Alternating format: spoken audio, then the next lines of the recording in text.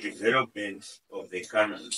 The hosting of this conference is a demonstration of the government's desire to create a avenues through which our citizens are abroad, the Zimbabwe diaspora can actively participate in the current development trajectory by investing in productive sectors of the economy.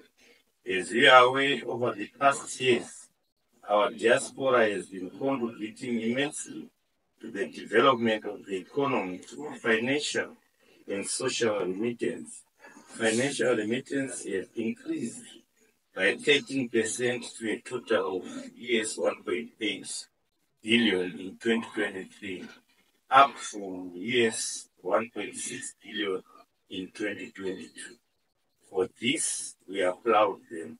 Well done, combatants.